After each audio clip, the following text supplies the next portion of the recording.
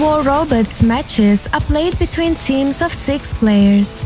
In this video, we will explain how the game assembles those teams. War Robots matchmaking system is all about leagues. There are several main leagues in the game.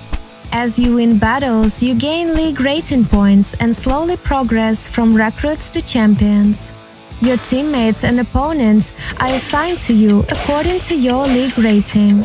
No other factors play into the calculation. When someone taps to battle, the game creates a matchmaking room and starts looking for players with a similar league rating. The game finds the first opponent, the person with the rating closest to yours, then the first teammate, same logic here, then the second opponent, the second teammate, and so on. If there are no players with a similar rating in the queue at this very moment, the matchmaking mechanism moves on and expands its searching range. As the waiting time increases by fractions of a second, the matchmaking criteria get more and more flexible. The mechanism will still be looking for the closest rating values, but now it will not hesitate to invite players from the neighboring leagues.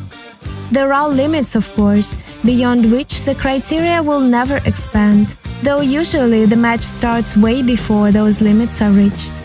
On Android, for example, it normally takes less than 8 seconds for an expert league player to find a match.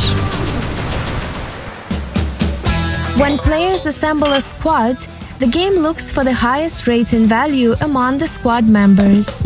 That value will determine the rating of the squad's opponents one more rule is applied.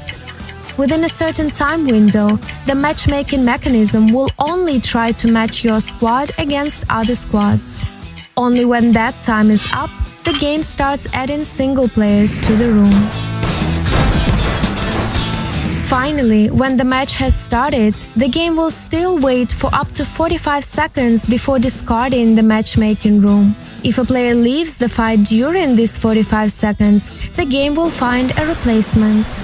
That's why you sometimes drop into battle a bit later than the rest of your team. And that's pretty much it. The calculations behind the matchmaking process might be complex, but its idea is simple.